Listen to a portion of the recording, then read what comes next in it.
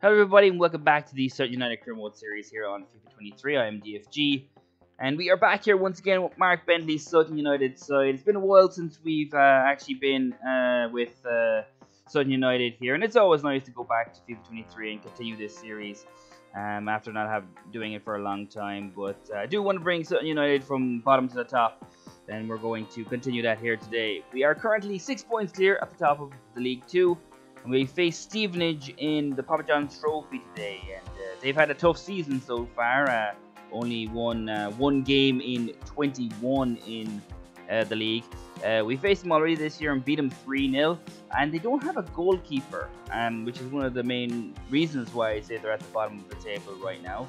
Um, they they've no goalkeeper on the squad, so they've been rotating different outfield players um, in goals for them. Jordan Roberts is the man who's going to be in goal for them here today. He was the guy who was in goals for them last time when we beat them 3 0. Let's see what we can do here and see if we can get through the next round. Stevenage and Sutton United, two teams here at opposite ends of the table in League Two as they face off here in the Papa John's Trophy. One of these teams will go through the next round. Let's see which one it is.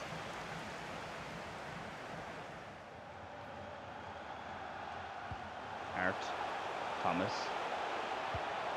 Gets the cross in, and Fadahunzi's there. And he's going to put the ball in the net. Fadahunzi always got a nose for goal in his competition, and he's going to give Sutton United the lead. It's actually pretty simple. Just Hart, Thomas loads of time and space to pick out his pass, and it's a good header by Fadahunzi, but really, if that was a goalkeeper, you know, that it was actually a goalkeeper, Jordan Roberts, of course, a winger, he probably would have saved it. Jordan Roberts has to come all the way up from the back to take corners as well, but it is here. A great chance and a good save there from Marshall, the cup goalkeeper for Sutton United, uh, an academy graduate. Got his right hand up to get that one away. Big, quick snapshot. And he does save it. It's a good save too. Stevenage on the attack here again. Gives it Clark, but Welch gets the foot in. Comes back here to Deeney. Turns around. Smith's there. Strike! And it's off target. Great opportunity there for Stevenage again. They're making chances here, Stevenage, but this one's off target. Marshall probably had it covered though. Now coming up to half time, and Stevenage are once again charging forward. Smith, Reed, foot in there, and now Sutton can maybe counter attack here. McLean, great ball to Thomas. Great ball to Randall at the other side. He takes a touch and it's an excellent save from Jordan Roberts, to be fair. That could have been two. It's not, though. And there goes the half-time whistle. Both teams very active in the attacking third, but Sutton United was the team who was able to hit the back of the net. Probably should have been 2-0 there at the end, but Jordan Roberts playing goal here for today for, today for Stevenage, who really he shouldn't be, was able to make a really good save. But at half-time, it's Sutton United 1, Stevenage nil. Another 45 minutes here for Sutton United and Stevenage to see which team will go through to the next round. Both teams actually have been very good going forward. Sutton United were able to take their chance. Stevenage weren't. Uh, let's see what happens here in the next 45 minutes. Stevenage here with List, Deeney. Welch is there, back to List he tries to put it out wide. Slow build up, but they're doing well. Eventually comes back to List, and it's a good save from Marshall. List has got a few goals in League Two this year, seven so far through this uh, first uh, half of the season, but Marshall is up to the task there. Moved away by Stevenage defender. And eventually it gets to McLean. Lovely little piece of skill there from McLean. Did get into the box there, but couldn't find an opening. He brings it back to Lovett. He's going to strike it, and it's a good save from Deeney, who has taken over goalkeeping duties here. Lovett gets a chance and misses a decent strike, but an easy save in the end for Deeney. Stevenage now running out of time. Quite a long ball there, but Ogundega is going to uh, clean that up for Sutton. Really good performance from the back four. Now they're going to come forward again. McLean, lovely through ball. Fadahunzi's through. And this could be it. He's done everything right. And the finish is there as well. Fadahunzi scores his second and surely puts the result without doubt now. Sutton United will go through to the next round. 2-0 here against Stevenage.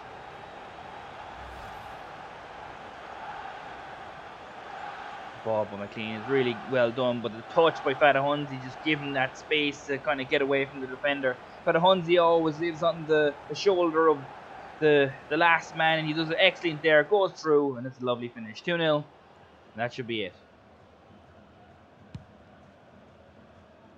You know, you have to give credit to where credit is due. Stevenage did put up a great challenge to Sutton here today and had some chances, weren't able to put the ball in the net. And there is the full-time whistle. Sutton United take it. Two goals from Fadahunzi here in a really entertaining game.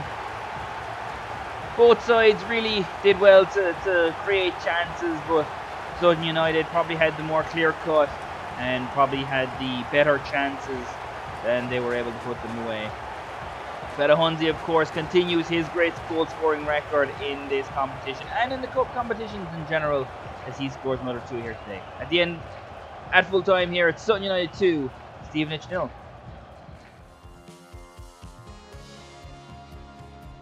Another win here for this Sutton United side is uh, we now go into a massive game in the league away to Cheltenham.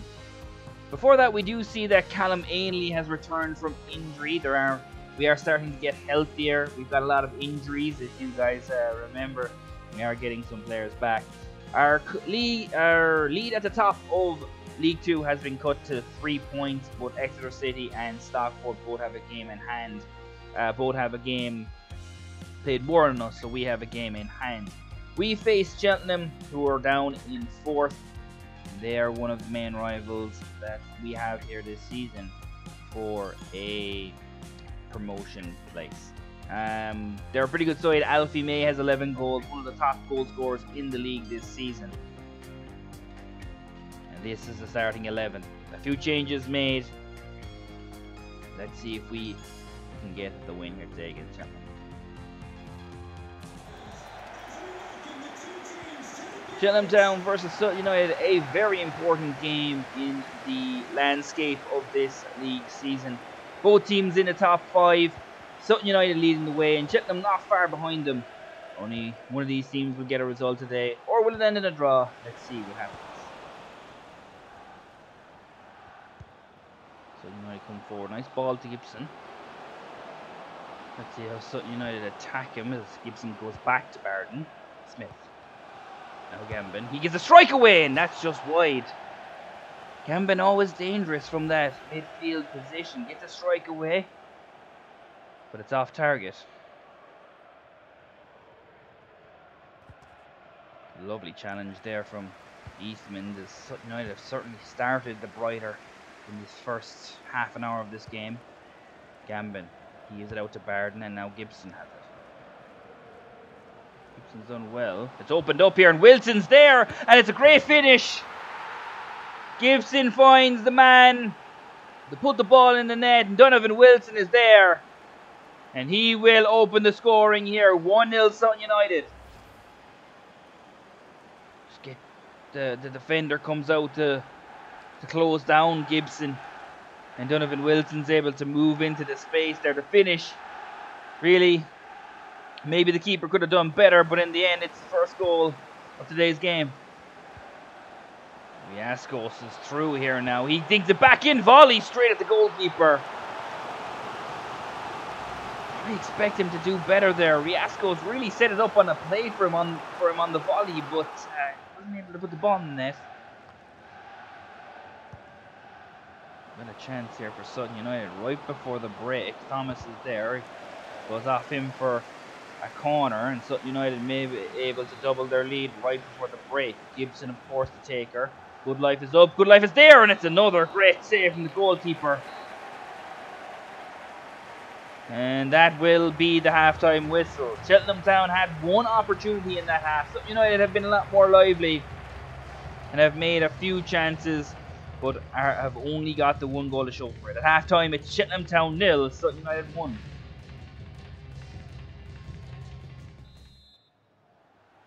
A first half where Sutton United really dominated, but weren't able to get the two goal comfortable cushion that maybe they were hoping for.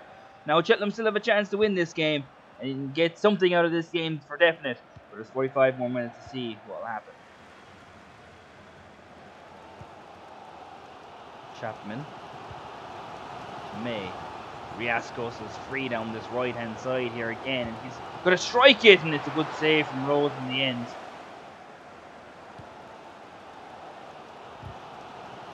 Good tackle by Brockbank, and now here comes Sutton, Gambin. Good ball to Thomas. We know how dangerous he has been in good form lately. Pulls the ball back to Wilson, gets another strike, and it's a really good save from the goalkeeper. Excellent reactions Thomas does everything right here, gets it back to Wilson, but it's a great block by the defender, and fair, it's a great save. He gets down and pushes it wide. Gibson to Smith, and it's another glorious save from the goalkeeper. Cheltenham are being kept in this game from their uh, by their goalkeeper. Great ball. Smith is there. Big, powerful header. That's a good save. Fadahunzi now on in the last few moments. And Gibson is through. He's got there. Great save. It's gone back off Gibson. And when your luck is on, sometimes you can't be stopped. And Gibson will make sure that you Sutton United come away with three points. As lucky as it may be. But Onzi actually gives a really decent through ball but for a difficult for a fullback to deal with. And really, there's nothing that uh, Gibson can do about this. It comes back and hits him right in the face. But it ends up in the back of the net. And it's their second goal, and that will be enough for the win here today. Cheltenham were a little bit better in this second half, but there is a gulf in class between these two sides at the moment. I think we saw here today.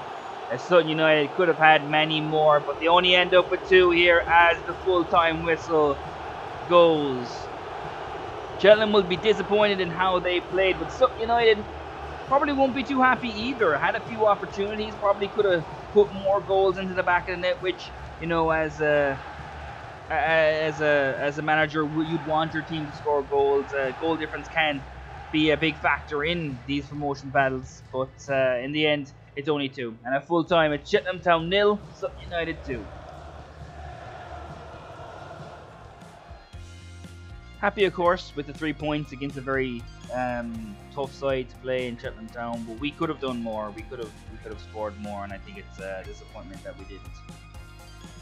With that, we are now in risk of losing seven players. So I, I had offered some contracts earlier on. There's a few guys that I want to uh, give some uh, contracts here to to make sure that they are with us for, for the future. First one is Jack Rose. I think keeping him around for another year is probably the right way to go, even though Dexter Marshall, our backup goalkeeper from the Youth Academy, is uh, higher overall now. I just think he's he's a, still a very good goalkeeper. Alistair Smith will also stay. I think he's going to be a long-term option for us.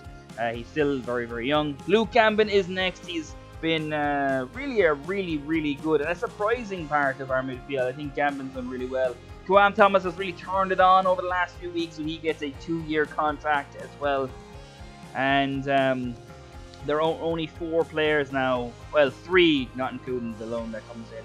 Omar Bugiel, uh, Louis John, and Sam Hart. They're the three. I'm not quite sure where we're going to go with those yet. Louis John, I'm kind of thinking about re-signing him, but I'm not sure 100% yet. Next up is Crawley Town, and we are now six points clear at the top of the table.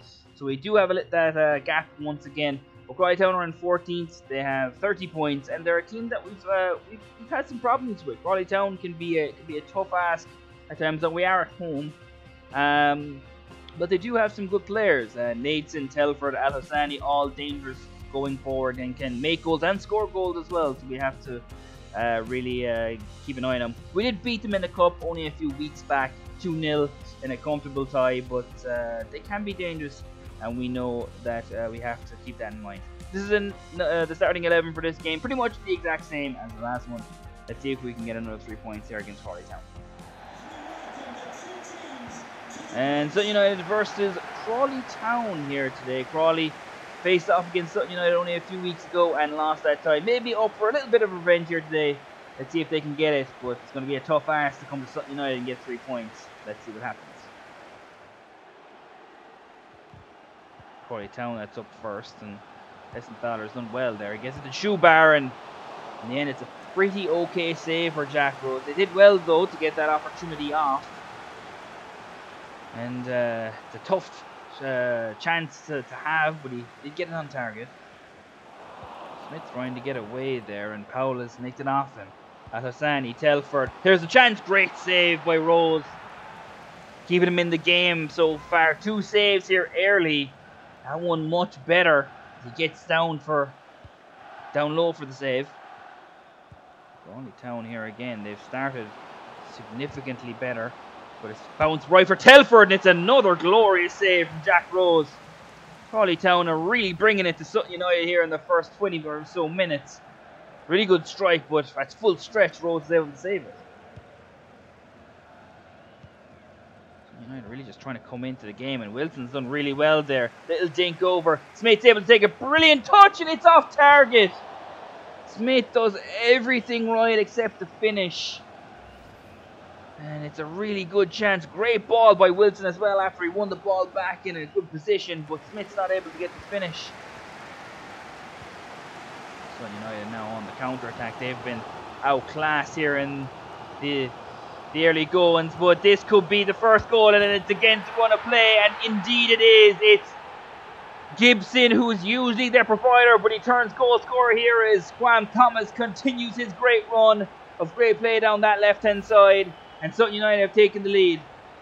It's just so quick. He's Thomas, great ball across the, the six, just outside the six yard box as well. And uh, Gibson just says, All right, I'm going to smash this into the net, and does, and takes it will willingly. 1 0. Right before the break, this could be two. Thomas is there again. Lovely little piece of skill. Lovely ball in, and Eastman's there. And Gibson tries to get there as well by going up, but the keeper will claim it, and the halftime whistle will blow with that. After a really good start for Crawley Town, Jack Rose kept Sutton United in this game. And by the time that the halftime whistle had blown, Sutton United had taken an undeserved lead. However, at halftime, Sutton United are 1 0 up here against Crawley Town. Sutton United will be pretty happy with the first half. Uh, Jack Rose's few saves able to keep them in the tie as they were able to take a lead late in the half. Now they have to make sure they're able to uh, finish this uh, win here as we have a another 45 minutes that will start with a card for Mo Shoebar here. A yellow card after a sliding challenge. Crawley Town here again, they're coming forward. Telford, Goodliffe is there battling. Just trying to do enough to put him off, and it looks like he did. Straight at the goalkeeper, and Jack Rose does really well. And now it's the corner. Ball goes to Powell, Hessenthaler. And it's Shoebar. Nice ball through Franco! And there it is.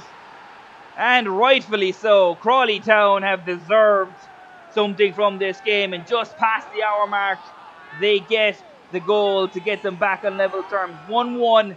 Crawley Town really could go on and win this. Comes from the corner. They play it short. It's a really nice ball into Franco. I lovely turn. And really, there's nothing Rose can do about that. He's just, he's too close. There's not much time he can react. And in the end, it's a goal. One all. To be a very, very interesting few minutes here. Lovely challenge there from Ogundega. And now Sutton United are going to charge forward. Thomas is there for Lovett. And Sutton United might steal this at the end. But no, the defender does just enough to put Lovett off. He's clear on goal here. And the defender ju does just enough. And Sutton United will more than likely now only get a point out of this game. It's Crawley Town. Telford's there. Goodliffe comes across and is able to uh, clean it up. And now So United are going to come forward. They already had a chance. But a poor pass now gives it back to Crawley Town.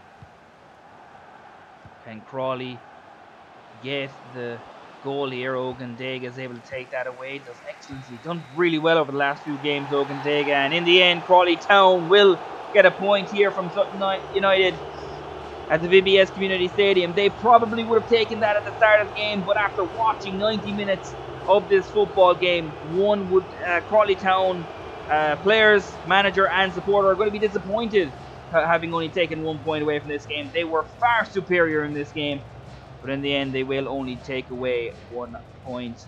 Uh, so United only really had what two chances, and they were able to take one of them, and they will get a point in this game. At full time, it's Sutton United one, Crawley Town one.